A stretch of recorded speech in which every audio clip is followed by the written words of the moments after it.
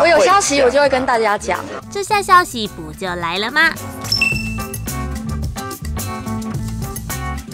恭喜结婚两年的徐佳莹和导演老公比尔贾正式升格为新手爸妈。徐佳莹二十七日在脸书写下：“现在我有两颗心脏，一颗妈妈生给我的，一颗我要生给小弟兄的。体内像巧克力冒险工厂那样运作五个月了。哦，您看看，身为创作才女，就连怀孕完都像在写散文一样。讲的 very good。徐佳莹的音乐人好友左光平向苹果新闻网透露，其实早在六月底，拉拉就在聚会时向好友们分享当妈的好消息。当时拉拉语气淡定，导致在场好友疯狂尖叫，纷纷认当拉拉肚中宝宝的干爹干妈。朋友都那么兴奋了，那么作为亲爹的比尔贾肯定嗨翻天了吧？左光平表示，本来就非常贴心的比尔贾，在拉拉怀孕后更是无微不至的照顾她。而拉拉所属雅声音乐则回应，拉拉怀孕是他计划之中，拉拉能够平安怀孕，让全公司都感到非常开心。接下来的工作都会以她的身体为主做安排。娱乐东新闻。